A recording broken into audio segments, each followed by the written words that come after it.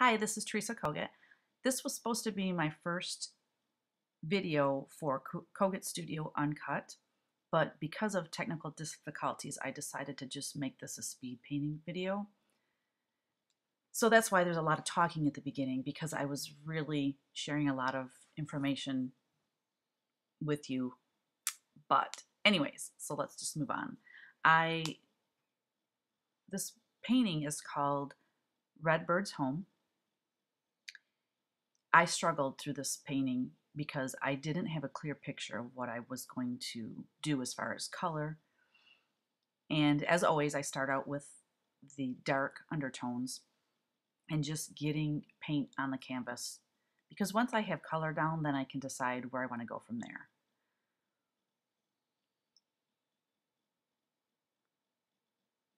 I didn't want your typical blue sky and green grass. I wanted, I'm trying to you know reach outside the box and do some different things with my paintings and it can be a struggle. But it's part of the creative process and in order to grow as an artist you do have to do try some different things. So i definitely tried some different things and i got to a point where i was just kind of frustrated. And that's one of the reasons i really thought this would have been good for kogut studio uncut because you could see the struggle and hear my frustration as i was painting during this video Oh, I was just showing you the red paint that I love from Golden. I tend to be putting a lot of red paint in my paintings lately. And as you can see, like I'll stop and talk to the camera because like I said, this was going to be my first Kogut Studio Uncut video. To learn more about that, I will have a link for you to be able to go and check out, you know, what that's all about. But I'm really excited about it. It's something new that I'm doing, and it's uh, going to be a lot of fun. So, you know, I did the blue leaves instead of doing the green leaves, and I just wanted it to be really whimsical and fun and different than what I've been doing.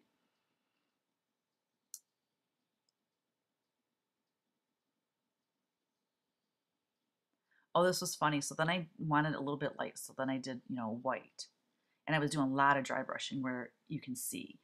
I, that's why I went and did, you know, used my dryer on it because I love dry brushing where you can see the texture of the canvas and you can see the under painting.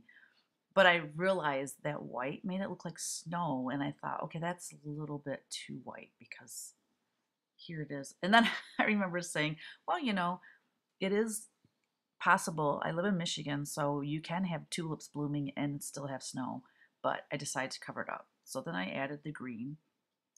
And here again, going back to the typical, you know, green grass. And I really didn't want to do that, but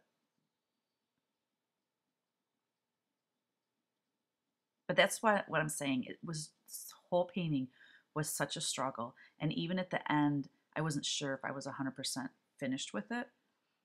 I did like adding this darker blue.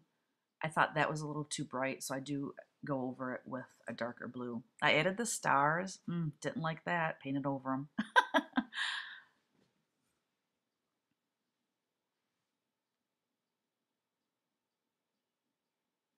but it's one of those things, the more I worked on it, the more it started coming to life. So here again, I go over there and I dry, dry the painting so that I can do some more dry brushing over top. So then I darkened the leaves and I liked that better, but I just thought they were these dark blobs, like they needed some texture, something to them.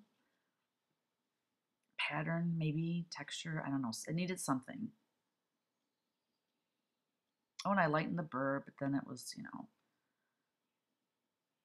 was too pink. So I just, I like when I added the red down there. I wasn't planning on adding uh, any red other than on the bird in the house because I wanted those two to be so connected. But adding that red, those little dots of red and the little flowers really helped, I think, to tie the whole painting together.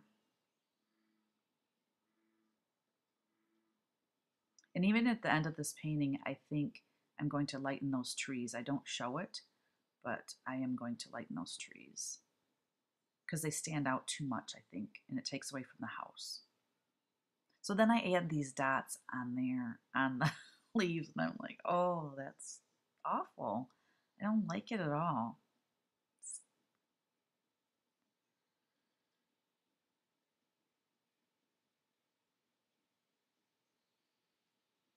So then I just go back over them.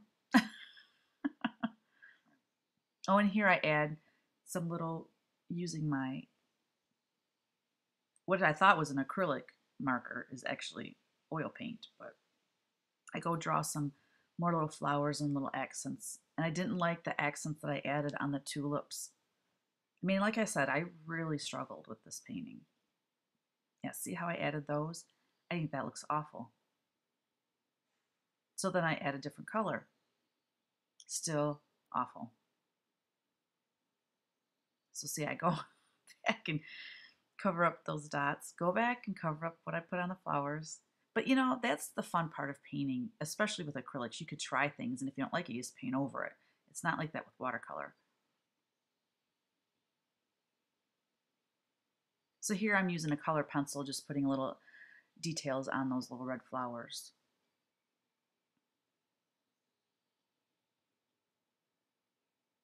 Now I go through and outline everything with white, which I thought was really kind of a cool accent. A little more detail in those little green flowers I made. And I do think the final things I will do is, like I said, is lighten those trees. And then on that little butterfly, I think I'm going to put a little bit more navy blue in there. I added stripes to the flowers. Not sure I like that either, so I may be changing that.